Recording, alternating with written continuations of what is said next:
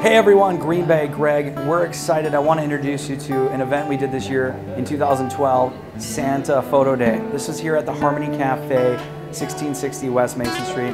We brought in Santa right from the North Pole and also brought in a professional photographer to be able to provide our friends, clients, and families with pictures with Santa right away. This event was unbelievable. We're extremely blessed to have a, a great year in both our real estate and insurance businesses.